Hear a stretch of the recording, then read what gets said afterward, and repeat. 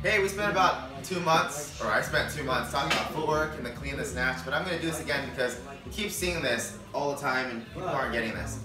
So Abdul, the guy holding the camera right now, gave me a really cool cue. He said, don't do the Michael Jackson, because you guys do the Michael Jackson quite a bit. And it looks like this in the Burgener warm We go, hee hee, kind of thing, right? We don't want to do a calf raise to elevate. We want to jump to finish. So instead of going like this, you want to jump Squeeze your quads, squeeze your butt, and literally jump to finish. When you have a heavy weight on the bar, you're not gonna go very high.